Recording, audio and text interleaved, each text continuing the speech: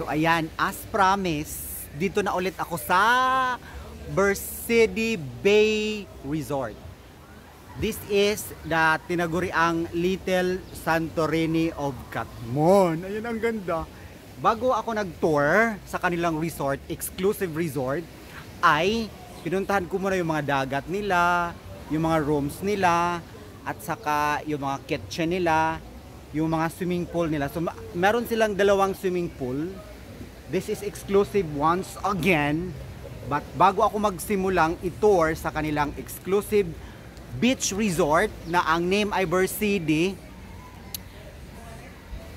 I will give you an update bakit tinawag itong Little Santorini. Bakit saan galing yung salitang Santorini at ako din hindi ko din alam bago ako pumunta rito ay ginugil ko muna at ito yung na ito yung aking NAS research. Santorini from this is from Wikipedia. It's officially Thera and classic Greek Thera is an island in southern Aegean Sea about 200 kilometers or 100, 120 miles southeast of Greece mainland. So yun pala yung Santorini at ayan. Para na din ako nakapunta ng Greece, no? So ito pala yung Greece. So ayan po, once again, sige, tutor ko muna kayo.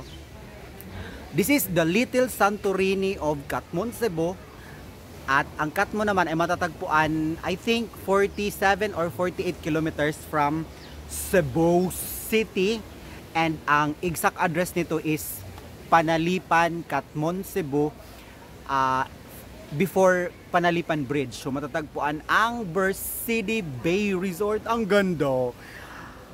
Uh, meron silang kinonstruct ng mga bagong rooms nasa taas, hindi pa tapos. Tapos yung mga rooms na pwede nang i-occupy is 5 rooms nasa first floor, second floor at saka third floor. So meron mga kitchen excuse me and for 18,000 pesos you can experience a very beautiful place just like this. So, okay, are you ready? So, itutur ko muna kayo sa dagat. Dagat muna ang unahin natin. Okay? So, medyo mainit kasi it's mga 10 o'clock pa ng gabi. O 10 o'clock pa ng umaga, gabi. Dito sa sa amin, kailangan kong magpayong para hindi ma hindi ma okay, hindi ma ano yung camera ko. Camera ko kasi is iinit eh, uminit tapos, teka, ano ko muna. Ganun talaga, no? May mga technicalities. Post ko muna, ha? Ayusin ko lang yung umbrella. So, ayan. Okay na yung umbrella ko, no? And, sisimulan ko kayong itour sa dagat. So, makikita ang kanilang very, very clear dagat. Ayan. Oo, magsimula tayo dito. Kasi malaki ito, eh. For 18,000 pesos, you can use this uh, resort exclusively mamaya i-interviewin ko yung in charge. Ang in charge ay naglilinis pa doon sa room. So dito tayo sa dagat. Ang kanilang dagat ay maganda siya kasi walang ano, walang buhangin. Pero mga bato-bato. Kahit bato-bato siya, it's very clear. So ito yung first na hagdan papuntang dagat. So sa ngayon medyo uh, maalon kaya iwasan muna nating tumusnod sa dagat. Kasi baka mahimo tayong sirinang walay kasway. so ayan. Ayan. So naka ano tayo no, nakapayong tayo kasi medyo mainit. So yes, ang dagat nila very, clear. Super clear just like that. Crystal clear water. Ayan. So ito yung ayan, ito yung first stage of their dagat. Okay. So actually meron pa doon, meron pa doon, meron pa doon, meron pa doon. Dito muna ako. Okay, punta tayo sa next stage. So balik tayo dito.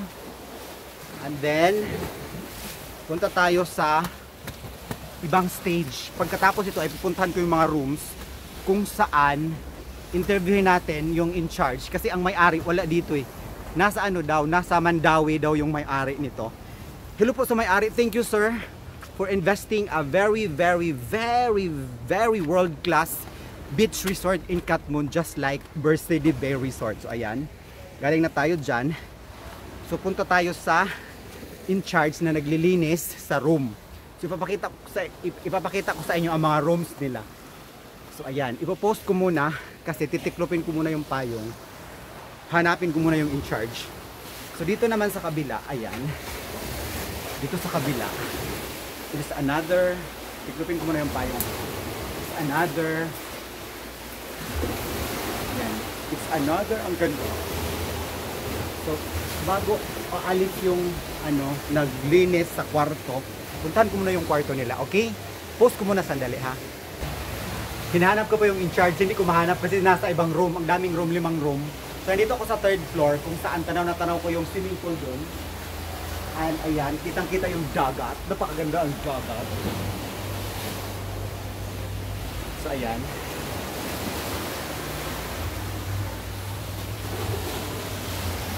Yan, nap- napaka-green ng dagat. Balik tayo. Tapos, hanapin ko ulit yung in charge na interviewin ko ha. So, ayan! Nahanap ko din silang dalawa.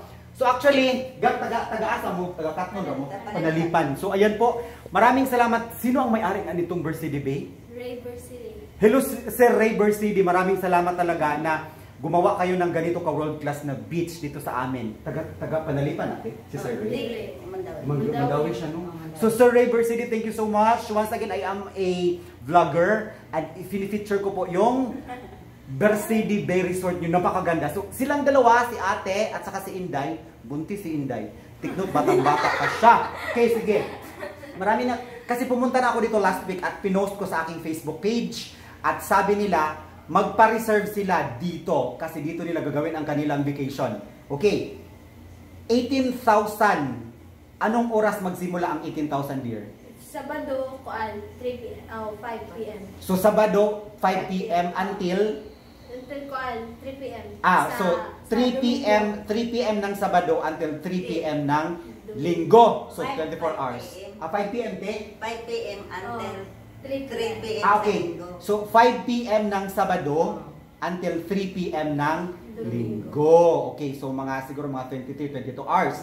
How about week weekdays, Monday to 2 Friday? p.m. So, Chicken. Cho, ah, ang check-in nila is every 2 p.m. Tapos the other day, 3 p.m. Tag kuan. To. Hantod na siya weekday sa Lunes to Oh, to- Bernice. ah, unya, mag, mag-check-in gang 2 p.m. niya. So, Oh, oras mo ah, check out?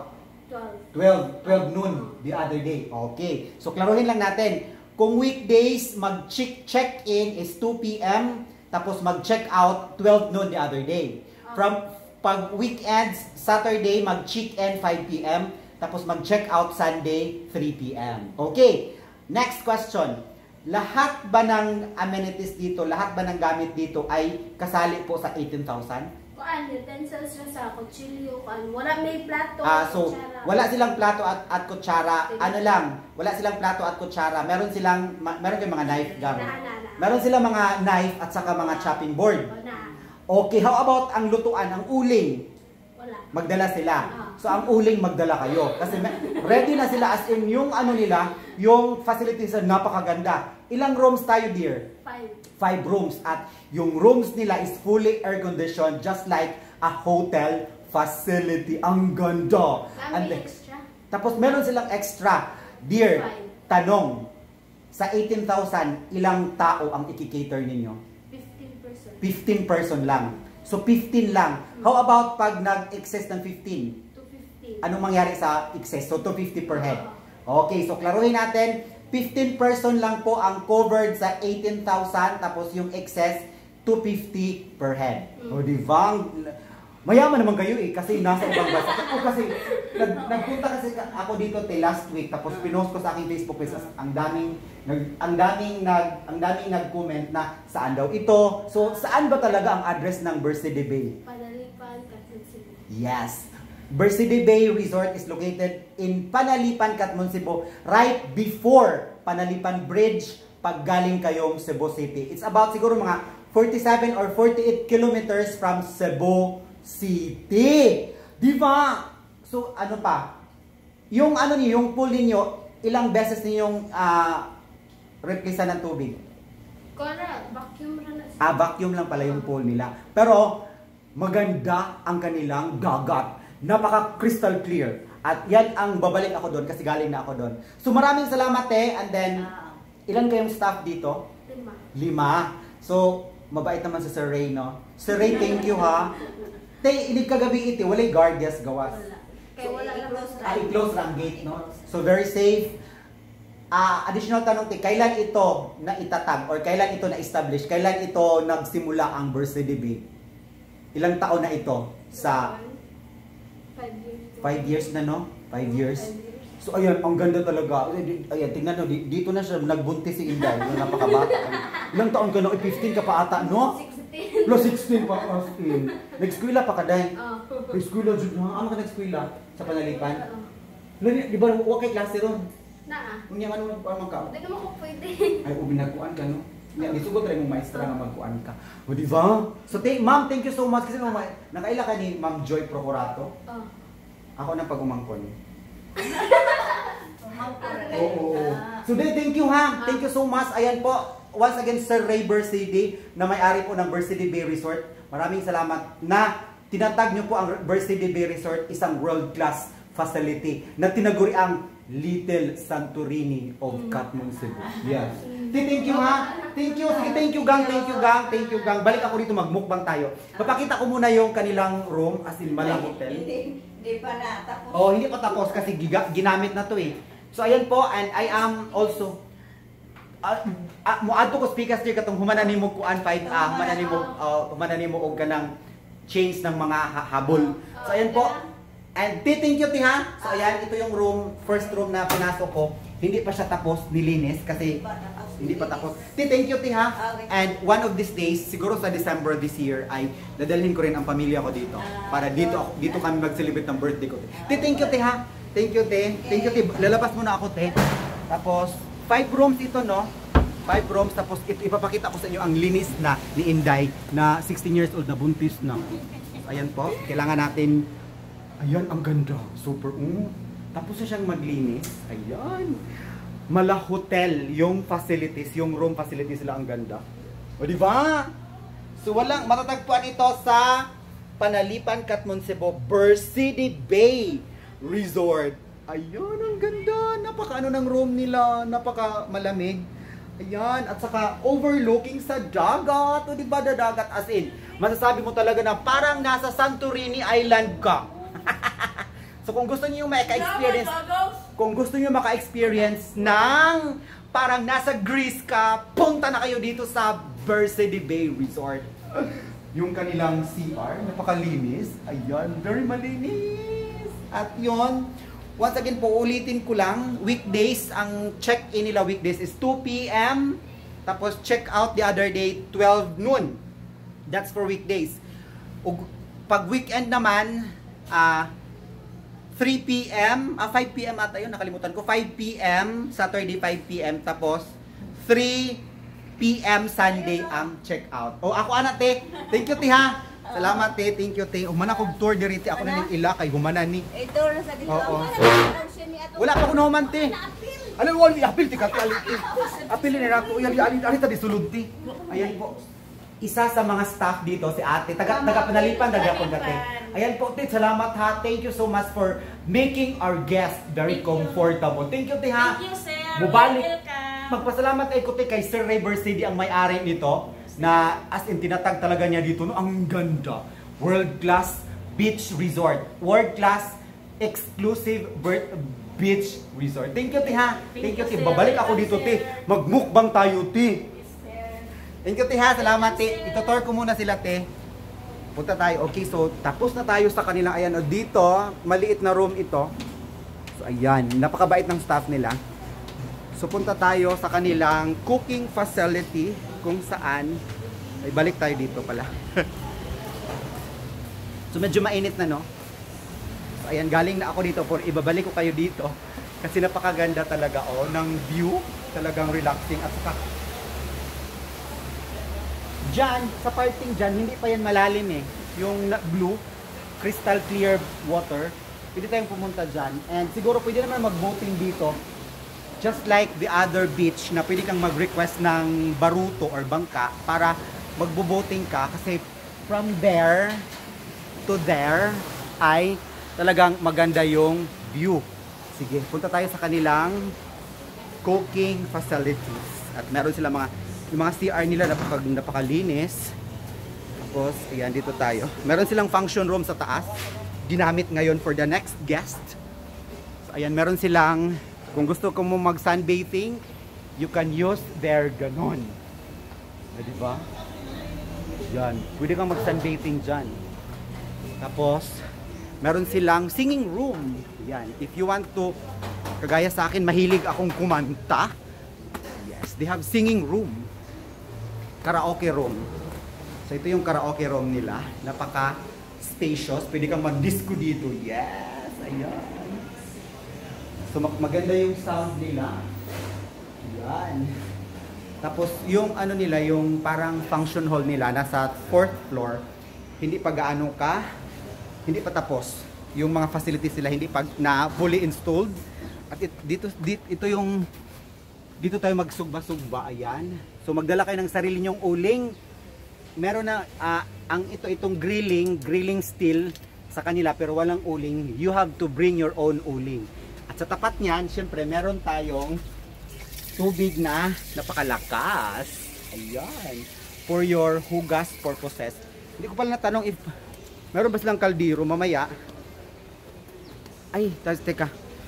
Babalik tayo doon. Tatanungin natin, meron ba silang kaldero? Kaldero or anong cook, any cooking facilities, no? Dahil na yung kaldero? Wala. Ay, naa pala. So, meron silang kaldero. Ang plato rin, kutsara. Plato lang, kutsara at uling ang wala. Baso. Baso, baso. Magdala kayo ng baso. So, meron silang kaldero, no? Ibalik tayo doon. May tao na kasi doon eh. May tao na doon. So, punta na lang tayo doon sa kanilang parang ah, garden area. Kasi hindi ko pa napuntahan yung garden area nila. Ito yung garden area nila na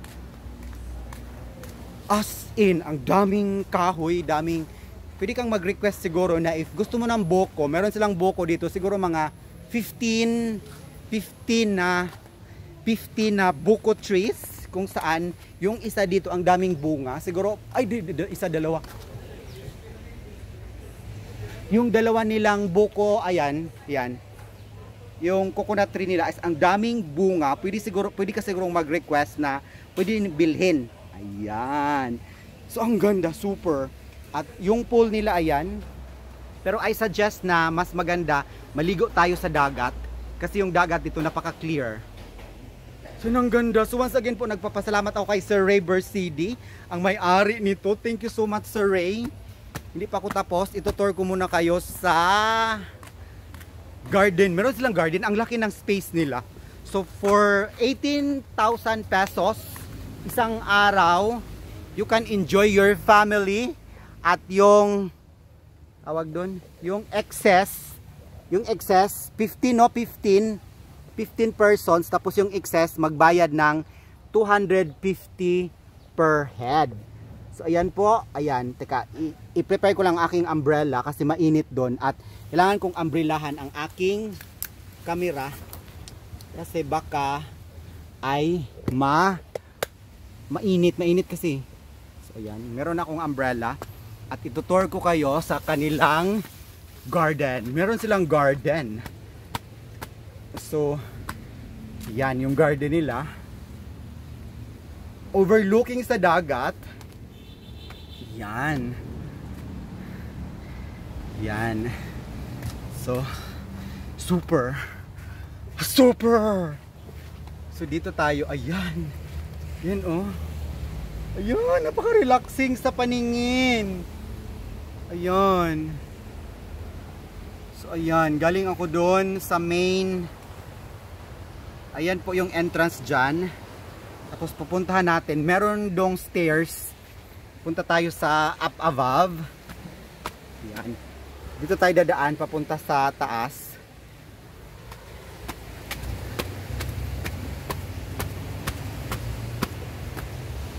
And then, meron ditong ah duyan. Yan, meron ditong duyan. Duyan tayo ha. Gusto yung magduyan? Yan. This is the main entrance. Ayan po yung main entrance dyan. Tapos, papakita ko sa inyo ang yan. Meron pang ginawa dyan oh, na para siyang I know, ah, I'm sure that's the cottage. Cottage, ayan. Yan doon. Hanggang doon. Hanggang doon. Doon. Galing na ako doon sa mismong ah, main resort. At ayan po for, punta tayo doon. Gusto niyo po, punta tayo doon. Doon oh, sa hindi pa tapos na facilities nila. Actually doon sa, hindi, hindi na yun sa kanila, iba na yun. So dito tayo dadaan ha, punta tayo doon. Go! Para makikita ninyo ang buong facilities ng Bersidi Bay Exclusive Resort. Dito ako dadaan. Balik pala tayo. Na dito. So dito tayo dadaan, no? Papunta doon. Kasi nandito lang naman tayo. Itutour ko na kayo para makikita ninyo ang buong facility ng Bersidi Bay Private Resort. Ayan, punta tayo doon. Gig, go! Let's go! Kasi matapos na 22 minutes lang to ang aking video kasi ma-off. So ayan, kasalukuyan nating binabaybay ang isang hagdan pa baba. At dito na tayo sa hindi pa tapos na pasilidad kung saan I'm sure pagkatapos nito ay isa ito sa masasabing maganda. Actually, pwede siguro mag-boating kasi meron silang boat dyan. Mag-request ka lang. Ayan, merong boat dyan. At dito, ah, ang ganda. Super, ayan o, ayan. This is, dito ako, ayan. Dyan ako dumaan. Yan, tapos it, doon. Tapos, ayan, malinis ang dagat dito. Napakaglinis. Okay, do you want to go to the sea? Yes, we will go there. We'll go to the sea para ipakita ko sa inyo na talagang ang sea sa Versity Bay Resort is very maganda at very accommodating with itself again. So dito na ako sa pinaka seashore. Oh! The sea is very maganda. Ayan. Ayan! The sea is very clear. Maganda dito pag ano, pag hapon. So ayan po, ma, ma ah, mahati itong videong to. Once again po, ah, 18,000 pesos for 15 person. Tapos yung sobra sa 15 ay magbayad na ng 250 pesos per head. So once again, this is the Versity Bay Private Resort. Ang ganda!